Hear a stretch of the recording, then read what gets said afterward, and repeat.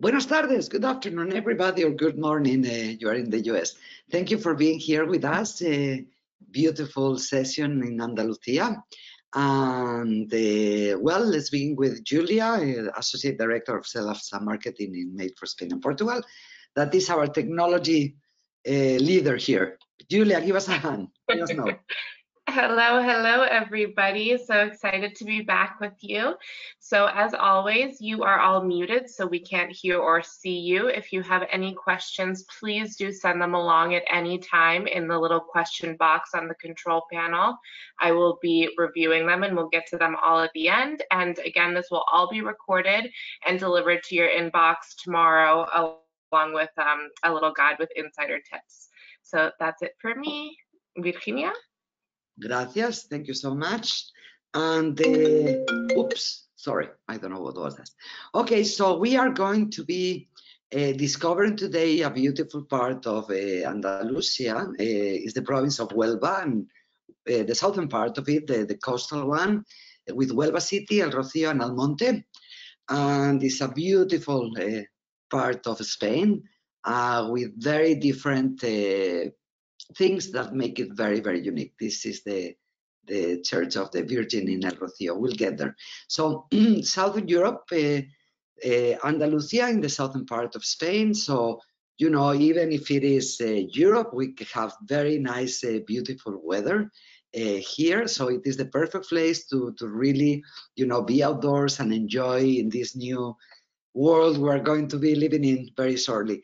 So this is the area, is the southwest uh, area of Seville. It's a fabulous uh, province with 122 kilometers of coastline. So lots of beautiful fun. Uh, from Seville, very close by.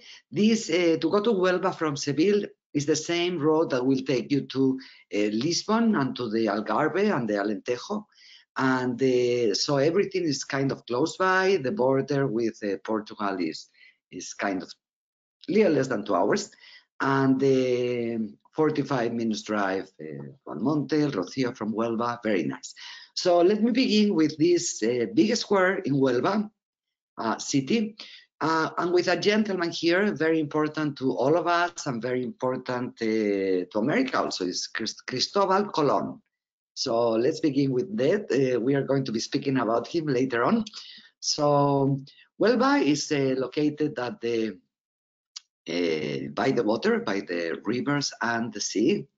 Beautiful uh, city with lots of, uh, you know, taste of America. There is something about America in this in this city, in this province. Beautiful, huge churches. It was very important uh, for the commerce. And the Museum of Huelva, you haven't seen many museums. And, you know, it's nice to visit museums. Sometimes people get a little fed up of museums. But this is very important uh, to me and to my heart because uh, the, there's, you know, a group of people uh, that live in this part uh, of Spain, maybe 4,000, 5,000, 6,000 years ago.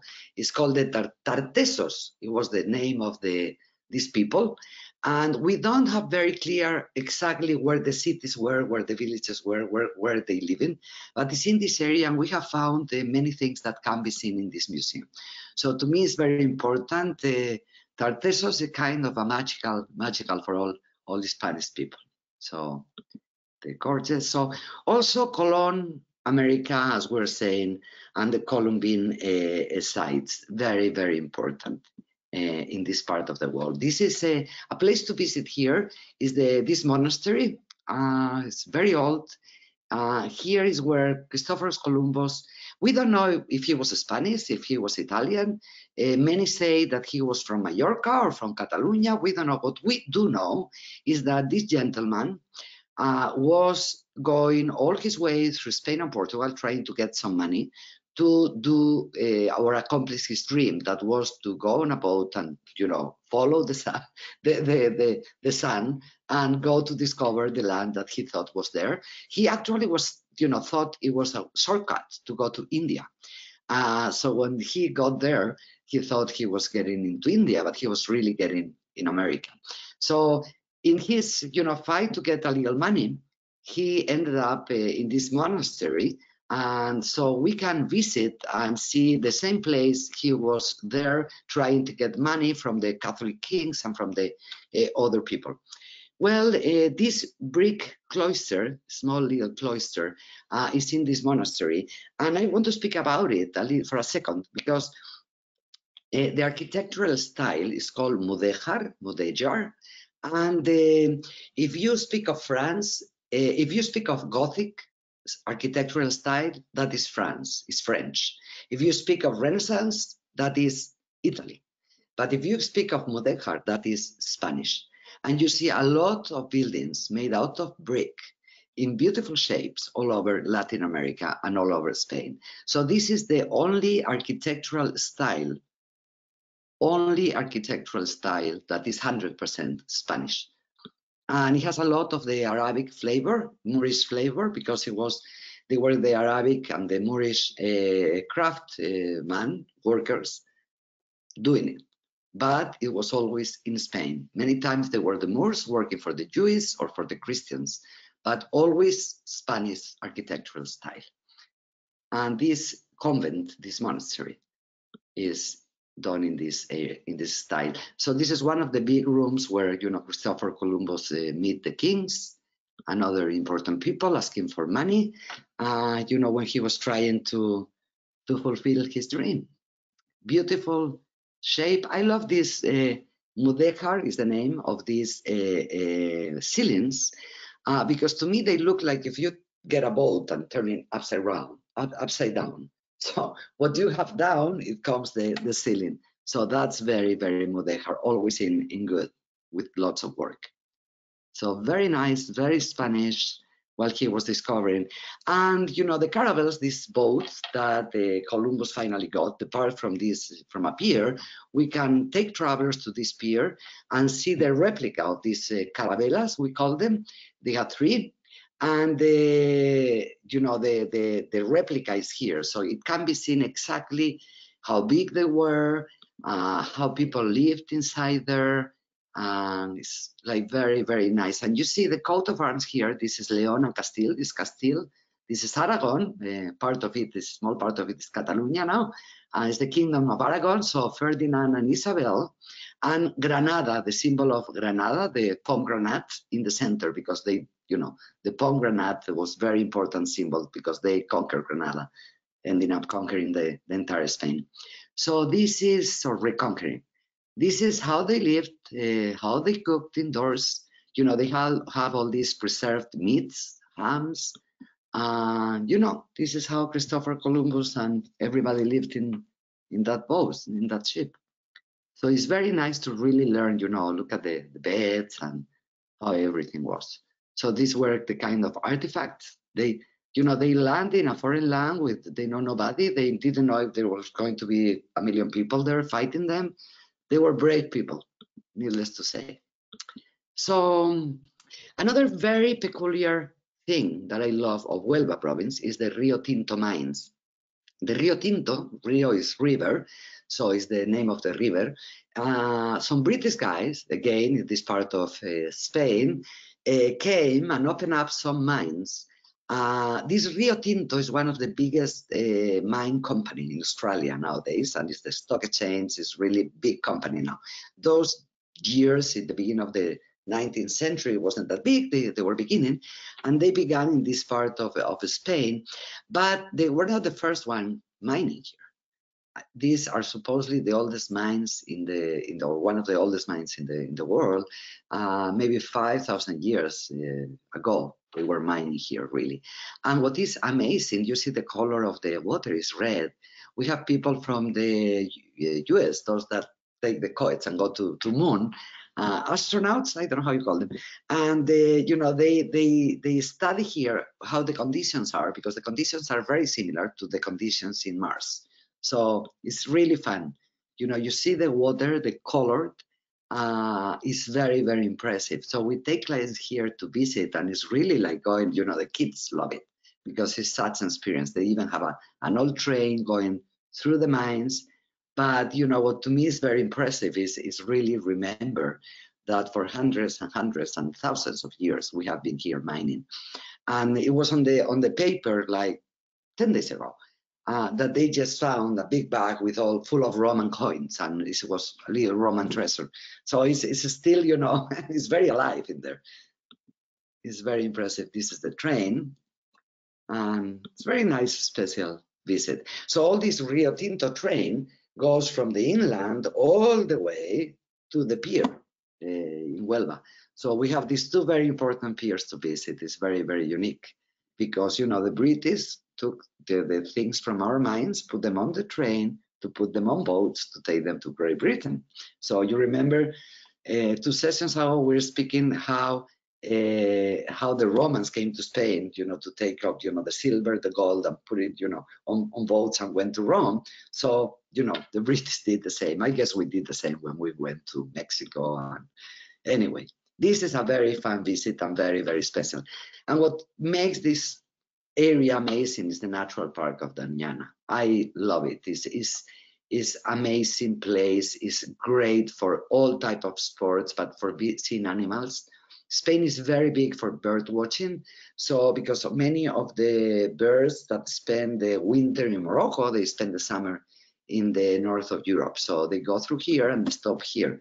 So it's very great place for doing uh, bird watching. But we also take clients here to see the Iberian lynx, but it's a safari, but it's a photo safari. So it's very, very fun. We also have like the tents and they, you know, make it very, very unique and very, very special. And the Iberian lynx is a, is a kind of cat. I mean, it's not as big as a lion, but I tell you, you don't want to be in front of him. But it's so beautiful. What, look at these guys. Aren't they handsome? Very, very special babies. So lots of biking, hiking, you know, it's by the water, this sun. If you remember, we were speaking yesterday about um, uh, Sanlúcar de Barrameda. No, no, it was last week. Sanlúcar de Barrameda. At the other side of the river, it was Natural Park of Doñana. This is what you see as you cross that river. Full of birds, you know, totally protected, very, very well kept. It's, it's a paradise. It's like a, you know, a big land for all of us, full of oxygen wonderful place for going sports, the horseback riding, the biking, the hiking. Uh, they have 600 uh, kilometers footpath. So for somebody who really wants hiking, this is this is paradise, no wonder. And this is at the other side of this uh, water. You see the uh, the Rocio Church, the Rocio Hermitage, uh, which is a huge place for everybody in Andalusia to go on pilgrimage. Uh, we have, there are still some private houses in the park and by the park, so we have some access to, you know, very unique, special experiences uh, inside the natural park. So important to, to mention, really. It's gorgeous, right? I mean, it's unique and unbelievable. Lots of peace and lots of animals. It's, it's very well kept, very protected and it's really lots of fun to explore.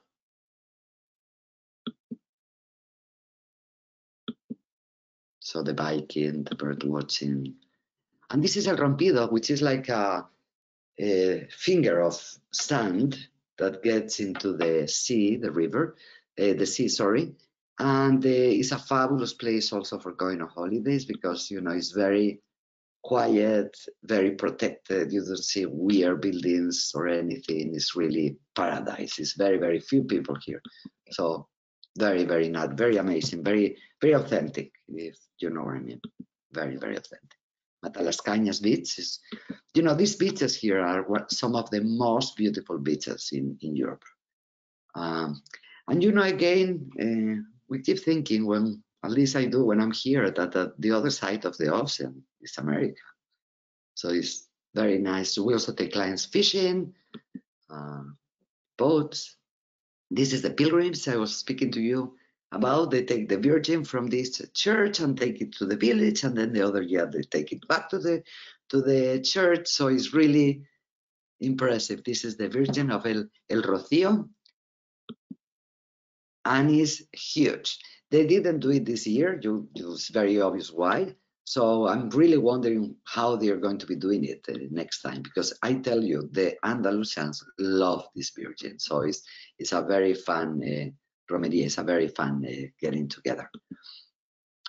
We were speaking about the Hispanic Arabic horses, so this is one of the best places to, you know, that we suggest travelers to go horseback riding because, you know, we think this this park is is fabulous. We have great horses here. We also produce wine, so we take travelers here to to visit and do the wine tasting. Just one of the top uh, wineries in the area, doing very good visit. Very beautiful, and of course, golf. Golf again, beautiful golf courses, but it's very nice when you are playing golf and seeing the sea. Sea has something, that fun, beautiful energy. So Seville, this is a great day excursion from this part of Andalusia and Cadiz, very nearby. So, you know, we know it's spring in all of Spain when we go to the food market and begin seeing strawberries from Huelva. The, the best strawberries in Spain come from Huelva. So I thought I had to include this because in the south of Spain, the weather is very nice, but even in December, January, February, when it's a little more chilly, we have lots of sunshine. So we have these uh, greenhouses and produce great strawberries, well, and great everything. I mean, as you can imagine, we produce many, many things. But the strawberries of Huelva are, you know, Huelva is for us about ham, strawberries, and prawns. So these are the little pigs, uh, black pigs producing our beautiful, fabulous, unbelievable Iberian ham. I'm a fan. And we're going to be speaking about more about this Iberian ham and these little uh, animals on Tuesday next week, because in this same province, but at the other side is in the mountains, is where they live. But you know, this ham can be tasted all around and it's really unbelievable.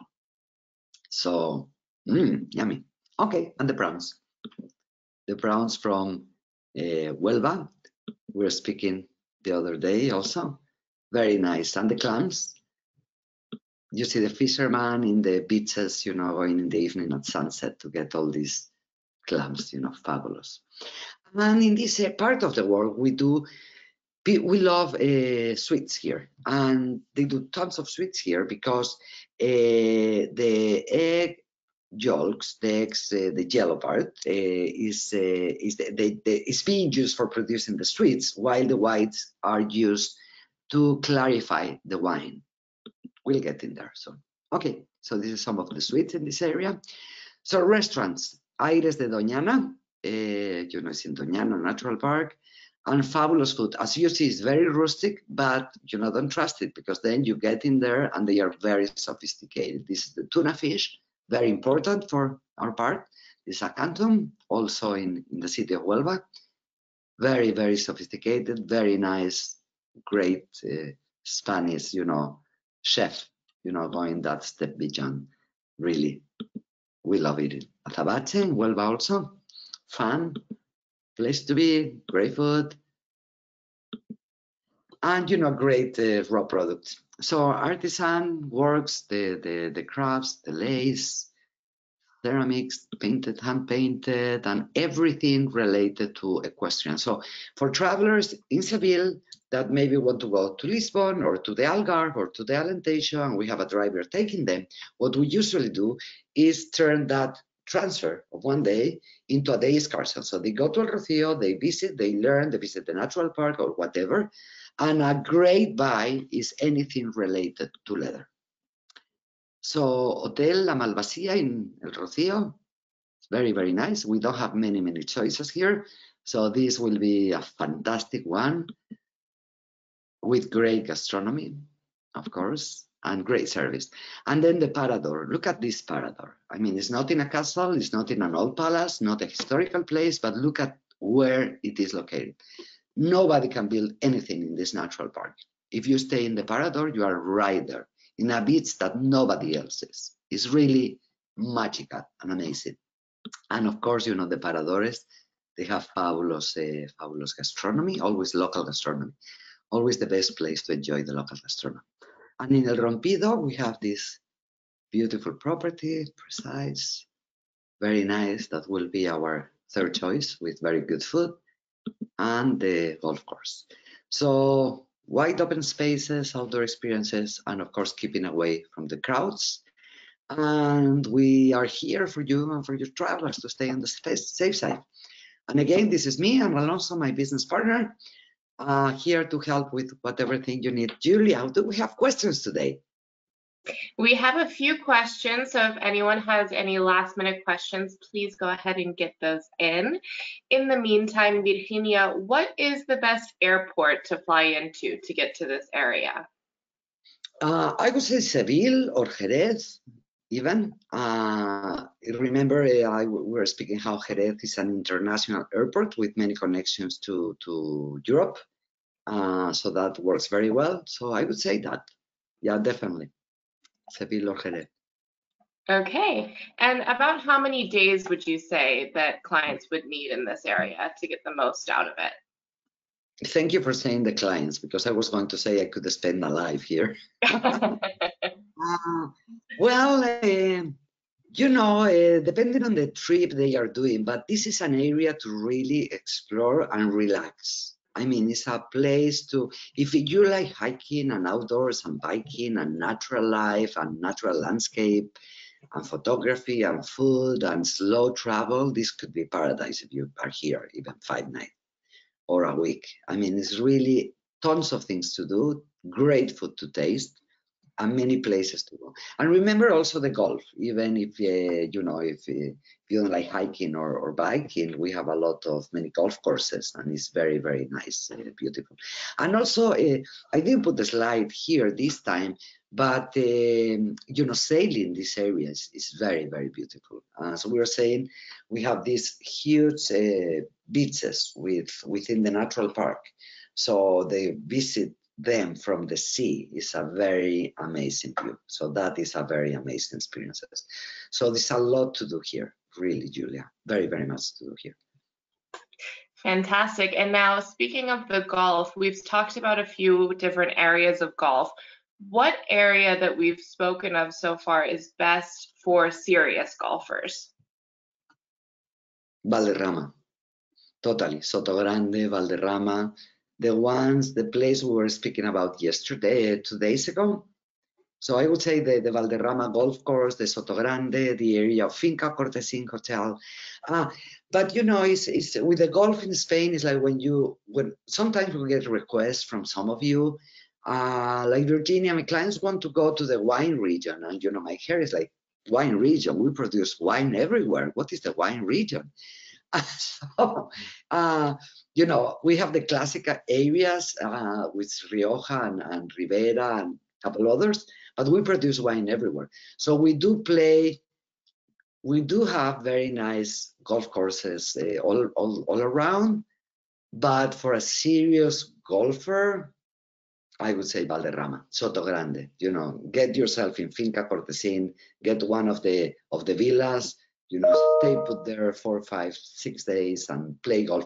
Because not only Valderrama is right there, you have Soto Grande, you have uh, the Finca Cortesin, but there are many, many other golf courses that are among the top ones in, in the area. So, sounds like a great plan. In Europe, I, I guess Valderrama is maybe number one in Europe even, so so really important.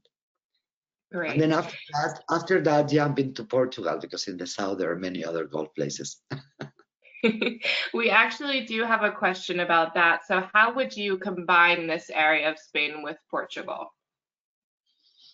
Okay, uh, I would personally, I mean, if the travelers want to be like playing golf big time and being by the water, definitely you you'll combine it with the south of Portugal with the with the Algarve.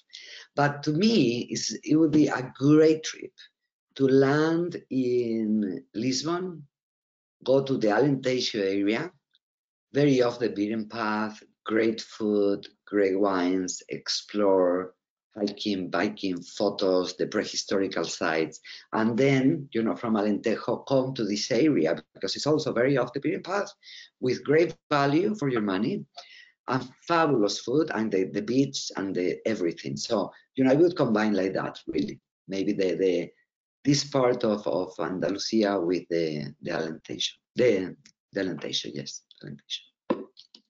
Okay, and speaking of combining, um, as this is such a different area of Andalusia, would it be too ambitious to combine it with Cordoba and Granada? Well, you know, thinking maybe I am, you know, putting together an itinerary for travelers next year. I could say it would be great, like staying in Úbeda and Baeza. We'll get there in some a few sessions, or with the La Bobadilla we're speaking about in in uh, Antequera area, where you can stay a few days, four or five, and then come to this part and stay another four or five days. Uh, so that could be a very good uh, combination because from Úbeda, Baeza, you can very well explore Cordoba and Granada.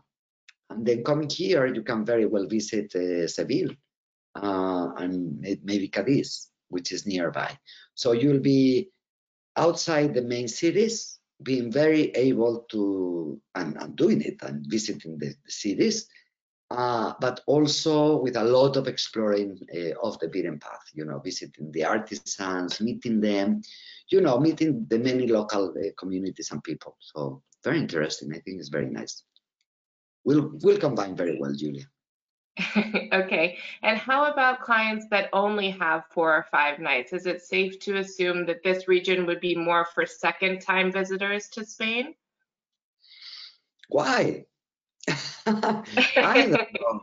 I don't know. But, you know, I think it is important to visit Seville. Seville is fabulous. I mean, it's one of my favorite places in the world. Or it's very important to visit Granada or Cordoba.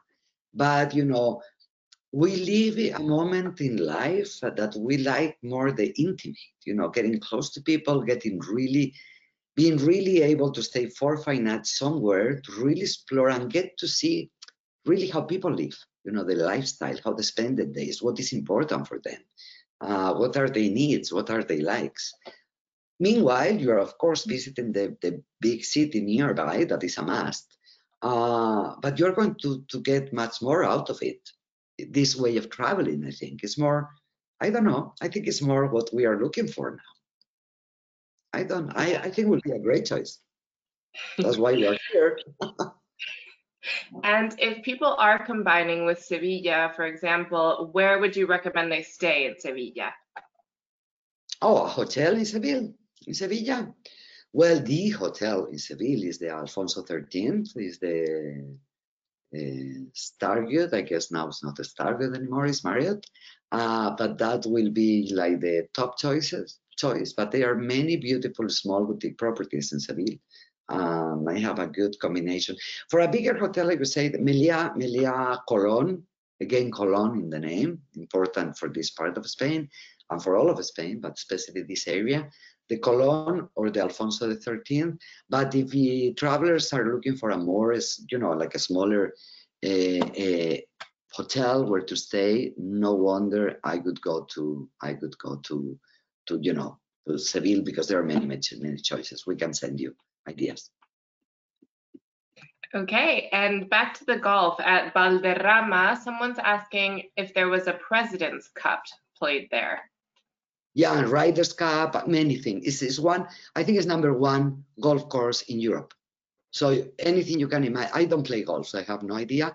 But uh, yeah, personally myself, of course, we know about golf and we send travelers to, to play golf everywhere. Eh, in, in Spain and Portugal, but uh, you know all the Ryder's Cup and all the important ones, yes. And I think Ryder's Cup is coming back to Spain soon. Maybe Valderrama or nearby, maybe this year, yes. Excellent. Um, now, can we go back to the slide that shows where the, the natural parks are again so that people can understand the layout? Okay. You see my screen, right? Okay, so yes. that's at the beginning. Okay. Well, this is a little busy, so let's, can I do this? It's working, okay. So this is Seville, this is Huelva City, and all this green in between is kind of the natural park in here. So the river goes all the way to Seville.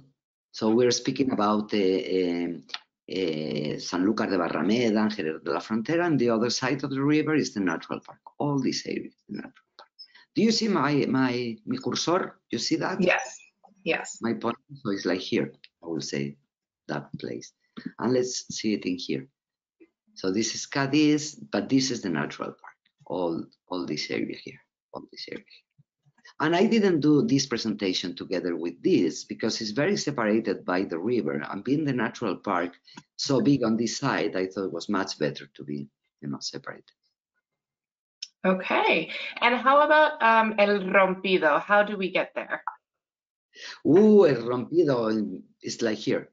If you see my cursor, it's like right there. So it's one hour drive from Seville. Very short. It's very cool place.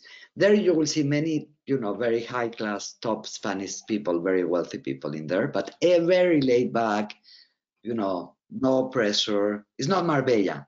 It's different. It's much better. uh, Blanca, our relations manager for many years, is retired now. She used to go there on holidays. I don't know. Maybe some of you remember Blanca.